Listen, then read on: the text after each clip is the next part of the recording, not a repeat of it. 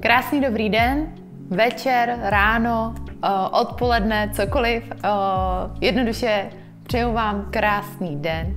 Užijte si uh, tento, tento kurz. Tento kurz byl vytvořený s cílem, aby byl úplně, úplně pro každýho. Moje jméno je Veronika Petras a věnuju se permanentnímu make-upu pár let a specializuju se na hairstrokes techniku. A je to něco, co nejvíc miluju a ráda bych vám tímhletím kurzem předala veškeré moje zkušenosti, a poznatky, a veškeré věci, které jsem za tu dobu, který se, kterou se věnuju vlastně hairstrokes technice, tak který jsem zjistila, především teda hlavně z mý praxe a věřím, že se vám ten kurz bude líbit.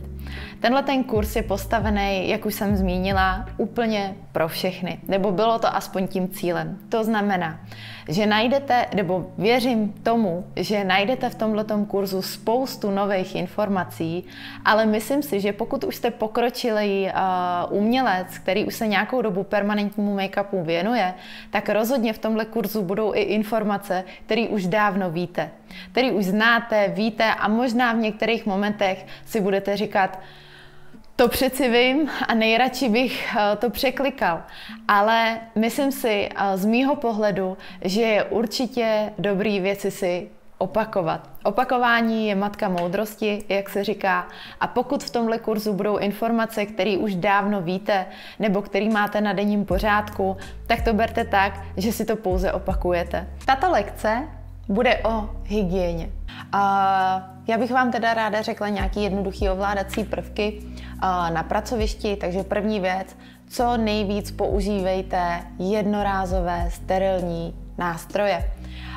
Zajistěte, aby vaše nástroje byly sterilizovány. Co to znamená? Je úplně jedno, co vaše hygienická stanice vám povoluje nebo nepovoluje. Jednoduše uh, jsem slyšela názor, že u nás hygiena nevyžaduje, aby jsme měli sterilizátor, tak ho nemám. Je úplně jedno, co vaše hygiena vyžaduje nebo nevyžaduje. Vy chcete chránit sebe a chcete chránit svého klienta. To znamená, je důležitý mít ve svém salonu sterilizátor, který vám zajistí to, eh, že zničí všechny tyhle ty mikroorganismy. Používejte bariérové obaly, eh, jednoduše bariérové folie, to znamená, o, um, obalujte materiál, který nejde sterilizovat, co nejvíc, jak jen to je možný tímhletím jednorázovým obalem nebo jednorázovou folií, kterou po každém klientovi vyměníte za novou. Mějte nádobu na ostré předměty, respektive nádobu na nebezpečný odpad.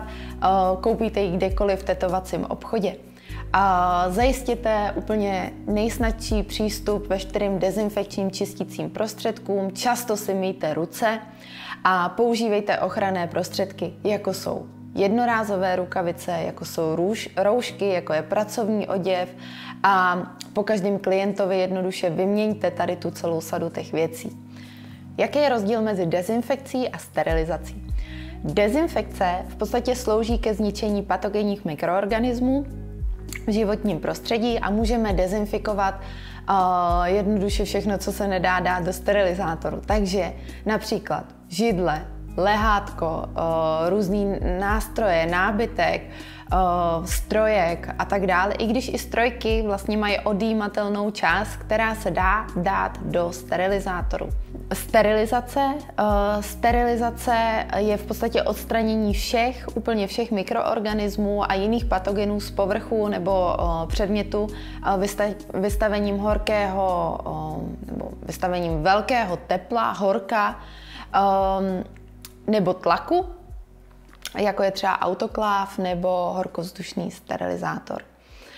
Když vlastně sterilizujeme, tak eh, jednoduše zcela vylučujeme eh, mikrobiální životaschopnost a zabijíme všechny, úplně všechny nepatogenní i patogenní eh, spory, houby, viry a tak dále.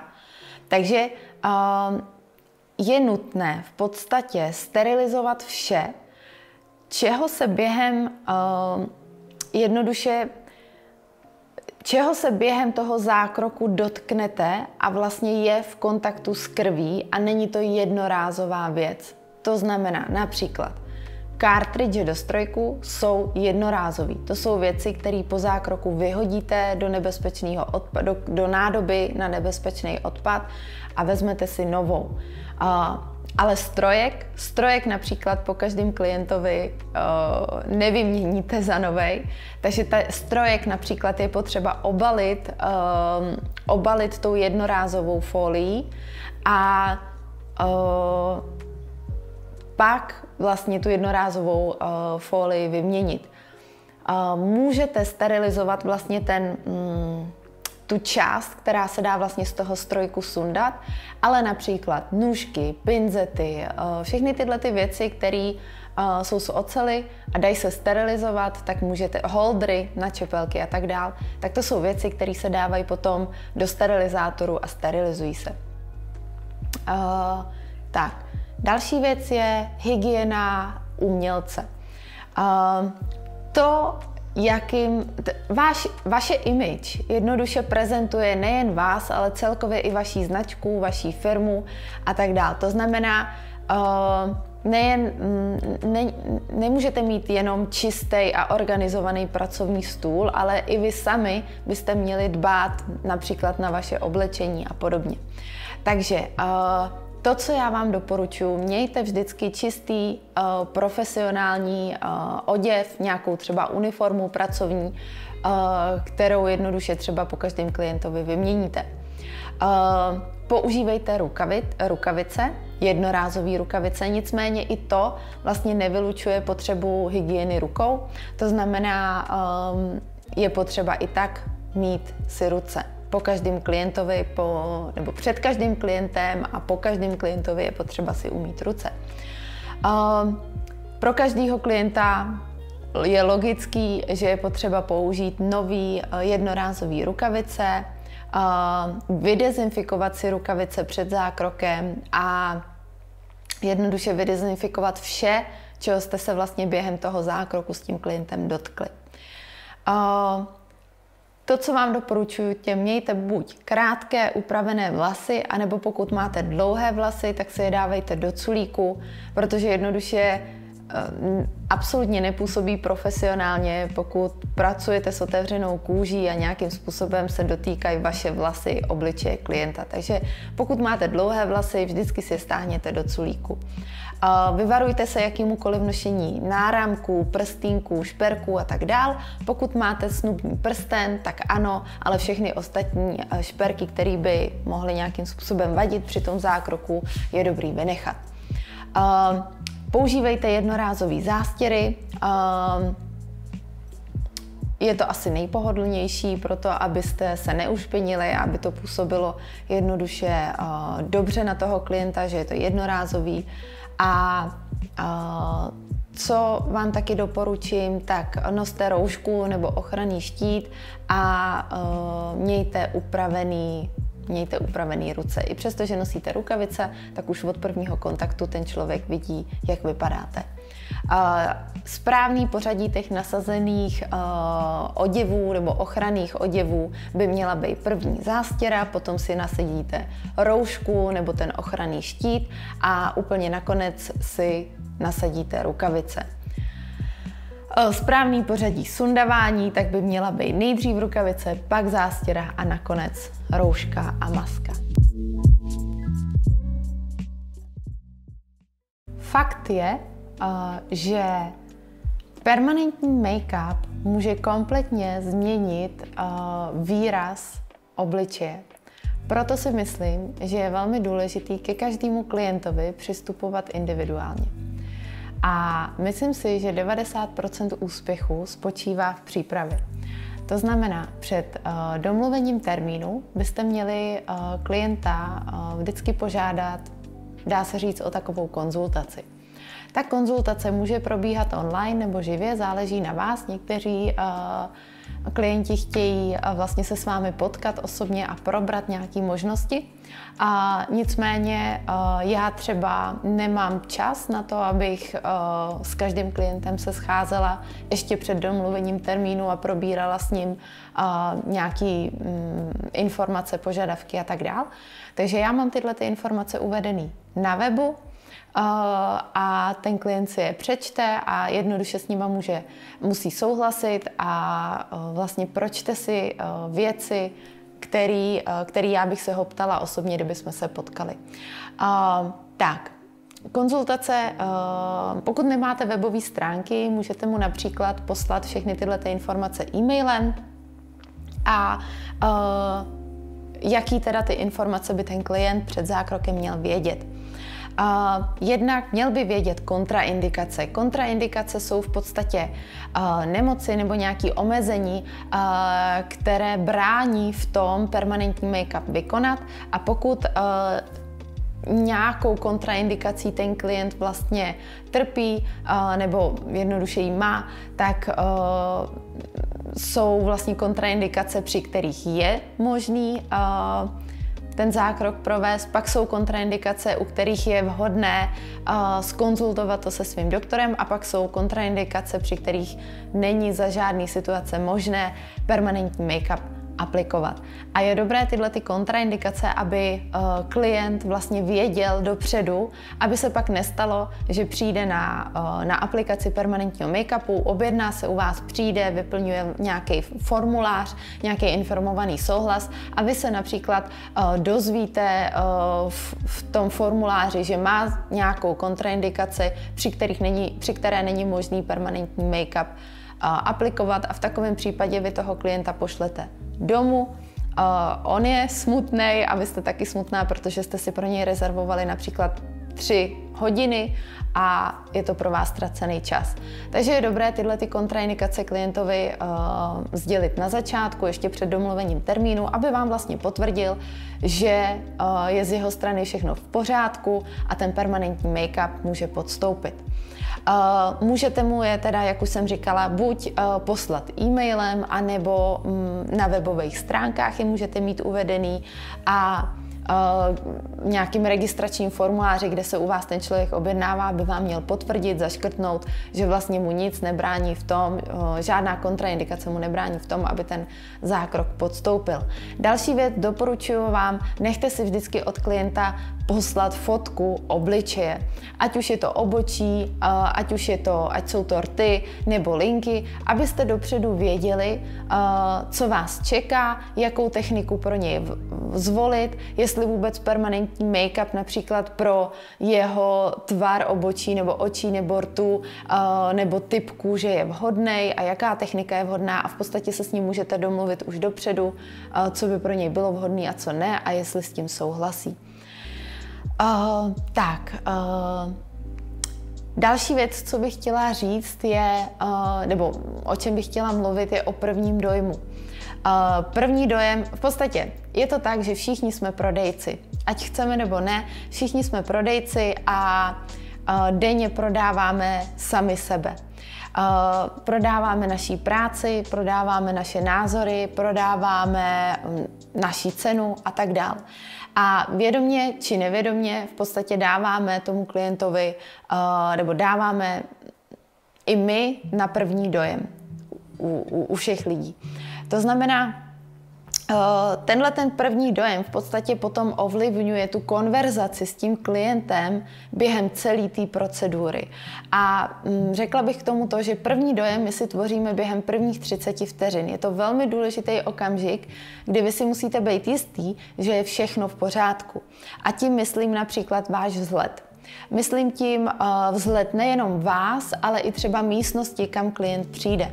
To znamená, uh, noste co nejlepší oblečení, co si můžete dovolit, noste lepší oblečení, uh, než vyžaduje, nebo o něco lepší oblečení, než vyžaduje příležitost a mějte prostory, ve kterých pracujete čisté, upravené a, a uklizené. Je, Dbejte, dbejte na příjemnou vůni vás, ale i vašeho salonu, dbejte na příjemnou vůni v to, na toaletách a uh, Jednoduše vůně se zpracovávají vlastně v limbickém systému mozku, kde, kde jsou uloženy emoce a vzpomínky. A doslova pronikáme úplně, že do, do takové hluboké části uh, mozku, kde cítíme, uh, když cítíme jakoby příjemnou vůni. Uh, takže z tohoto důvodu může být nepříjemný zápach vás nebo uh, v, v salonu v podstatě uh, strašně jakoby nepříjemný pro toho klienta. No a poslední věc, uh, u kterého, uh, kterou je důležitý, na kterou je důležitý dbát při prvním dojmu, tak je úsměv. A úsměv je zadarmo, úsměv můžete použít kdykoliv chcete a úsměv funguje úplně vždycky a na každýho. Pojďme si říct něco k marketingu. Ačkoliv můžete mít perfektní práci, tak marketing je něco, co pokud vám chybí ve vaší práci, tak se může stát, že nebudete mít klientelu. Speciálně na začátku. Na začátku, eh, když začínáte s permanentním make-upem, v podstatě s jakýmkoliv biznesem byste začali, tak eh, člověk, který má zmáklej ten marketing a který eh, umí fungovat v tom marketingu, tak je to pro něj mnohem jednodušší začít. Co se týče eh, toho biznisu v tom permanentním make-upu, eh, tak za mě osobně já doporučuji, udělejte si nějaký portfolio do začátku, protože lidi dneska chtějí vidět tu vaši práci. Samozřejmě je fajn eh, mít lidi na doporučení, ale i ty lidi, který vás někde doporučí, tak nějakému, nějakému člověkovi, tak ten člověk většinou, než se k vám objedná, tak chce vidět nějaký portfolio. Je to permanentní make-up, je to něco, co on bude mít na obličeji několik let. A to znamená, že chce mít jistotu, že půjde k někomu, u koho se mu ta práce bude líbit. To znamená, mějte nějaký portfolio. Jenže, jak vytvořit portfolio, když vlastně nemám ty klientky, který ke mně nejdou, protože nevidějí to portfolio. Já doporučuji udělat si do začátku nějaký portfolio klientek, který například budete dělat zadarmo, anebo za nějaký náklady, za nějaký menší náklady, který máte spojený vlastně s tou vaší prací. To znamená, můžete oslovit uh, svoje známí, můžete oslovit svoje kamarádky uh, okolo sebe a vlastně poprosit je, jestli byste si na nich mohli, uh, ne, nechci říct vyzkoušet, ale jestli byste na nich mohli začít vlastně s tou technikou, kterou se teď třeba učíte a udělat si hezké fotky, a na základě těch hezkých fotek vlastně si vytvořit nějaký portfolio na svých sociálních sítích. Určitě si založte zvlášť, si myslím, profil pracovní, kde budete prezentovat svoji práci a zvlášť svůj profil osobní. Samozřejmě můžete to mít spojený, můžete už třeba nějakou dobu mít fungující osobní profil a díky tomu, že tam máte nějaký sledující nebo nějaký přátelé, tak uh, určitě vám zafunguje to, že tam budete sdílet svoji práci, ale do budoucna je dobrý určitě tyhle ty dva profily mít oddělený. Takže a doporučuji založit si profil, uh, jak uh, například na, na sociálních sítích, takže na Facebooku, na Instagramu, a dneska začíná být hodně oblíbený TikTok, a, takže založit si profil na sociálních sítích, kde budete prezentovat svoji práci a určitě si udělat i webové stránky, které můžou být vlastně sponzorované na Google. Takže nicméně na ty webové stránky vy potřebujete mít taky nějaký to portfolio. Takže doporučuji, pokud chcete mít portfolio například Breezy techniky, tak uh, udělat si pár modelek, buď zadarmo, nebo za nějaký menší peníze, za nějakou menší částku, která se bude týkat nákladů, uh, vytvořit si z toho hezký fotky, hezký koláže a na základě toho uh, vlastně si vytvořit hezký profil. Kde hledat modelky? Jak už jsem říkala, buď to můžete oslovit svý známý, anebo kamarádky. Nicméně já třeba do začátku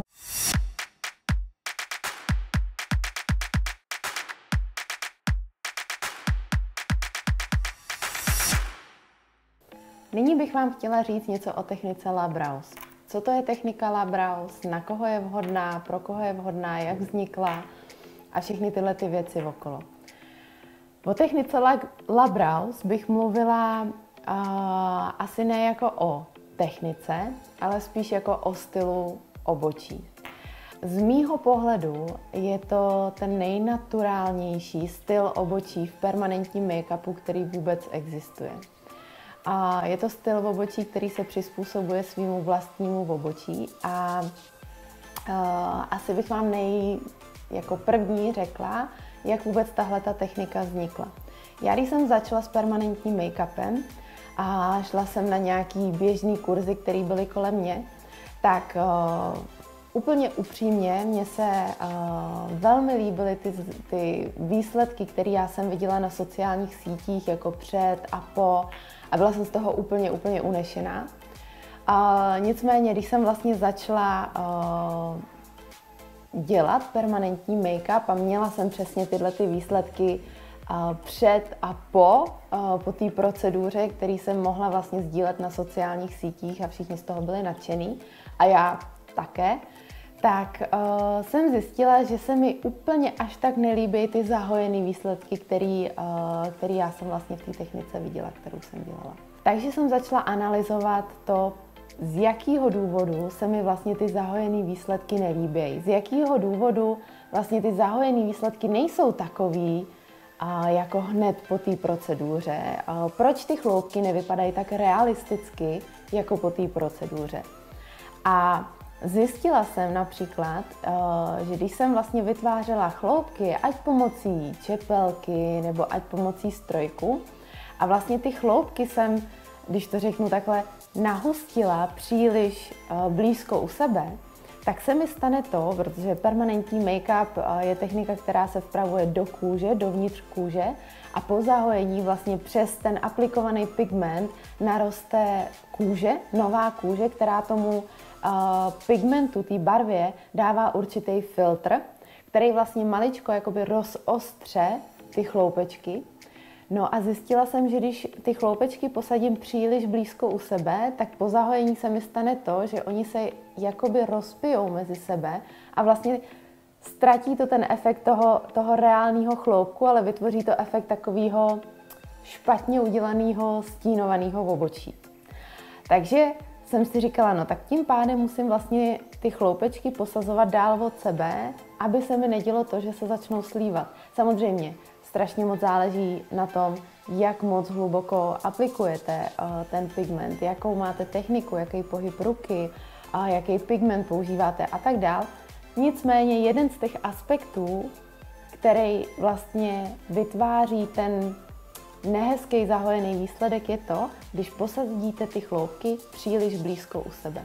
Proto jsem vlastně začala dávat ty chloupečky dál od sebe a zjistila jsem, že to má extrémně krásný zahojený výsledek. A cílem Labrouse techniky je ten, aby vlastně to okolí ani nepoznalo, že ta klientka má vytetovaný obočí. A, tak, a, kartridžích a věhlách uh, jsou důležité čtyři věci. Je to uh, taper, je to počet jehel, je to diametr a seskupení. Uh, první věc, kterou bych teda s váma chtěla probrat, tak je um, diametr. Je to tloušťka jehly. To znamená, my můžeme mít tloušťku jehly, která je například 0,20 mm, 0,25 mm, 0,30 0,35. Záleží na výrobci. Někteří výrobci mají 0,33, například Vertix má 0,33 a nemá 0,3, takže záleží na, na výrobci. Ten rozdíl v těch jehlách v tomto diametru znamená, že když máte jehlu, která má 0,20 mm průměr, tak je, tak je to teňunká jehla. Když máte 0,25, tak je širší. Když máte 0,30, tak je ta tloušťka, ten průměr té jehly je ještě větší a když máte 0,35, tak ten průměr té jehly je ještě větší. Tak další důležitá věc je taper té jehly, což znamená, můžeme mít jehlu, která má zakončení, který je krátký, takzvaný short taper. Pak další jehla takzvaný medium taper je o něco jakoby delší to zakončení. Další typ jehly je long taper, kde vlastně to zakončení tady máme mnohem delší. Takže když to porovnáte, jsou to takový trojuhelníky, to zakončení, je to stej... Například můžete si vzít 0,25 jehlu ale může mít různý typ zakončení a to vám dá různý jiný výsledek. Většinou je to tak, že daný výrobce má jenom jeden typ toho taperu, takže uh, například můžete mít jednu značku, ale nemůžete si od ní koupit 0,30 a vybrat si, jestli chcete short, medium nebo long taper. Když řešíme u cartridge, tak je, uh, tak je počet jehel. A buď to je to jedna jehla, anebo víc jehel pohromadě a tam záleží na tom, do jakého seskupení vlastně ty jehly máte. Takže buď to můžete mít round, takže například, když máte tři round, tak to znamená, že máte tři jehličky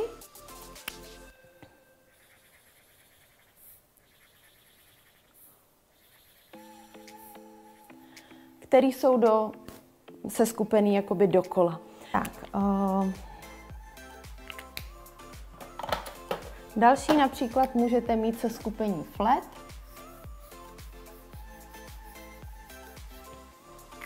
Což znamená, že máte čtyři, tři nebo pět jehliček vedle sebe. Záleží, uh, co tam máte napsaný. Takže například, když máte čtyři flat, tak to znamená, že máte čtyři jehličky vedle sebe. Tak já osobně při Labraus technice nejradši používám jednobodový jehly 0,25 diametr nebo 0,30 diametr.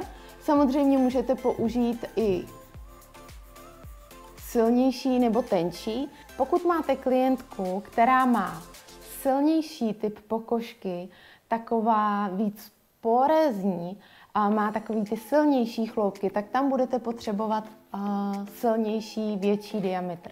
Kvalitě práce se strojem záleží na šesti aspektech. Je to směr, je to pohyb, je to uh, tlak, napínání kůže, uh, rychlost vlastně strojku a ruky dohromady a je to úhel, pod kterým pracujeme. Takže co se týče úhlu, já vždycky pracuji, mm, nebo snažím se vždycky pracovat pod 90 stupňovým úhlem. A to proto, že je to nejpreciznější práce, kterou můžete se strojkem vytvořit. Pokud pracujete pod 90 stupňovým úhlem, musíte si uvědomit, že když máte pokožku a pracujete pod tím 90 stupňovým úhlem, tak pigment se aplikuje úplně přesně do té kůže rovně a vlastně vytváří ten nejpreciznější efekt chloupku. Pokud pracujete pod úhlem, tak si musíte uvědomit, že ten, že ten pigment do té kůže jde šikmo a znamená to, že v reálu potom na té kůži bude ten pigment vypadat vlastně mnohem, nebo ta linie bude vypadat mnohem širší a ve většině případů mnohem širší, než chceme. Takže pokud chcete precizní chloupek vytvořit, vždycky pracujte pod 90 stupňovým úhlem. Tak, správný napínání kůže během zákroku je další extrémně důležitý aspekt pro kvalitní práci. Vždycky napínáme třema prstama. Já používám palec, prostředníček a malíček. Ten malíček vám dává stabilitu pro práci se strojem a tyhle ty dva prsty vám vlastně pomáhají k tomu nastrečovat to do trojuhelníku. Ten stretching by měl fungovat takto, to znamená, že vlastně strečujete do tří stran. Častá chyba je, když mi studenti strečují takto, Myslí si, že vlastně strečují třema prstama, tímto, tímto, tímto, ale ve skutečnosti strečují, napínají pokožku jenom do dvou stran. Rychlost stroje by měla být přímo úměrná rychlosti vaší ruky. Všeobecně za to, čím pomalejší ruku máte, tím pomalejší rychlost stroje by měla být a tím preciznější a méně traumatizující výsledek práce máte. Takže já osobně ráda pracuji na pomalé rychlosti, protože čím vyšší rychlost máte, a jak stroje, tak ruky, tak tím víc traumatizujete pokožku. Takže já osobně pracuji eh, v rychlostech od 4,0 eh, do nějakých 6, 6,5 na zdroji Critical. A nicméně eh, ta rychlost toho stroje, to číslo na tom zdroji, jaký si nastavíte, by mělo být přímo uměrný rychlosti vaší ruky. Stroje, která je teď nastavená, tak je 4,5 na zdroji a rychlost mojí ruky bude hodně pomalá.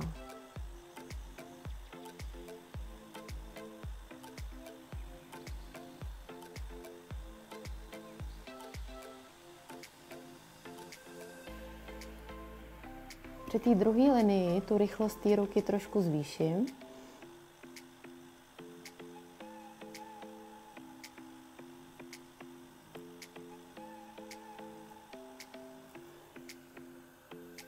Při další lince ještě víc zvýším.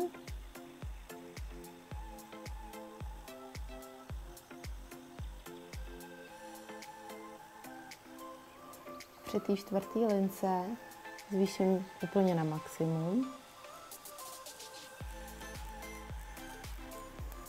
Tak. A teď konci to vyčistíme.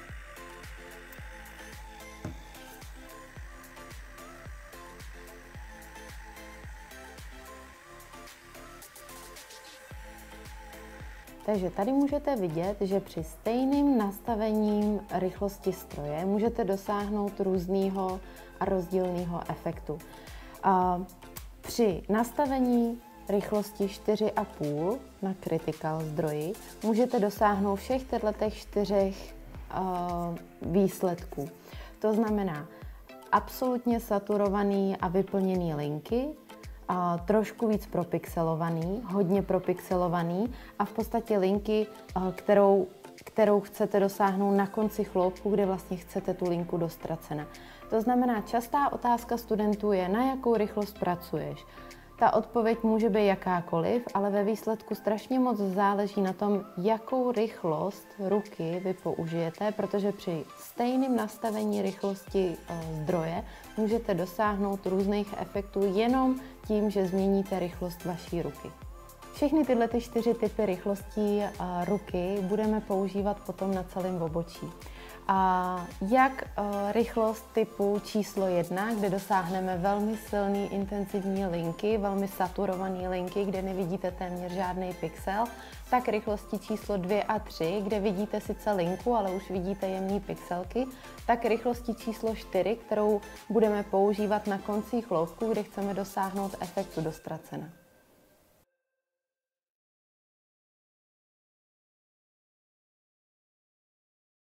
Jedním z důležitých aspektů kvality na hairstrokes technice je pozice sezení. Vy kolem klienta jednoduše musíte se hýbat. Nemůžete celou tu práci udělat z jednoho místa. Já osobně pracuji tak, že se hejbu po tomhletom po této ose. To znamená, pokud pracuji na tomto obočí, tak u klienta sedím podstatě na úhlu, na tomhletom úhlu. Můžete si představit kolem toho klienta hodiny. Tady je dvanáctka, tady je jednička, dvojka, trojka a tak dál. Takže pokud byste si představili hodiny, tak když pracuji na klientovi levém obočí, ne pravým, když pracuji na klientovi pravým obočí, tak pracuji z té pozice devítky. Když pracuji na klientovi na tom levém obočí, tak pracuji z pozice někde mezi desítkou a jedenáctkou. Kdy pracuji z pozice dvanáctky, je jenom v momentě, kdy pracuji na těch předních chloupkách u tohohle toho pravýho obočí. V momentě, kdy pracuji na předních chloupkách toho levého obočí, tak u klienta opět sedím z pozice devítky Ruku mám přes klienta takto a tímto způsobem pracuji. Je důležité, abyste měli stabilizované ruce. To znamená, když pracujete, tak je důležité, abyste měli položený loket. Buď to o klientův, eh, o, klientovo rameno, nebo pokud jste z této pozice, té desítky nebo jedenáctky nebo i dvanáctky, tak si pokládáte ten loket na lehátko.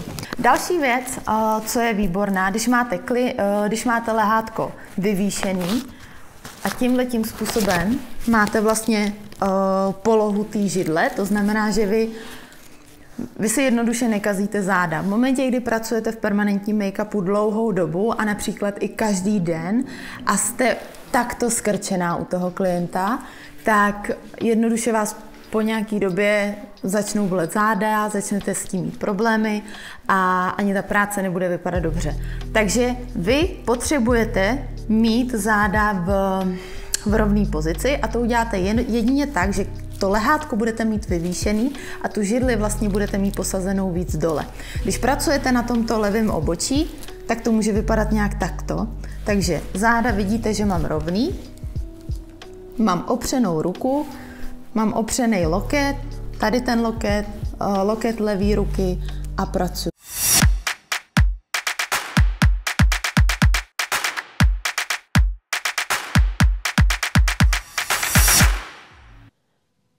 Právě jste viděli krátký 30-minutový sestřih ze dvou mých online kurzů. V první polovině videa jste se mohli dozvědět tipy, jak na základy v permanentním make-upu a něco o barvách. V druhé polovině videí jste se mohli dozvědět něco více o technice Labrows, což je technika Hairstrokes a můj unikátní styl. Doufám, že vás tyto informace obohotily a, a možná ve vás vzbudili chuť věnovat se více permanentnímu make-upu, anebo dokonce možná začít se věnovat té nejtěžší technice v permanentním make-upu a to je hair strokes. Pokud tomu tak opravdu je, doporučuji zakoupit online kurz Základy permanentního make-upu a barev, kde najdete více jak 3 hodiny materiálů, videomateriálů spolu s 80-stránkovým workbookem, s testama a certifikátem po zakončení kurzu, anebo online kurz Labrows eh, Hairstrokes techniky, kde najdete také více jak 80-stránkový workbook společně se 4,5 hodinami videí, a společně s testy a certifikátem po zakončení kurzu. Za mě vám určitě vřele doporučuji využít uh, speciální nabídky dva v jednom, kde uh, můžete zakoupit oba dva kurzy společně za jednu cenu, samozřejmě zvýhodněnou cenu. Takže já vám moc krát děkuji za spolupráci a doufám, že se vám moje materiály a kurzy budou nadále líbit.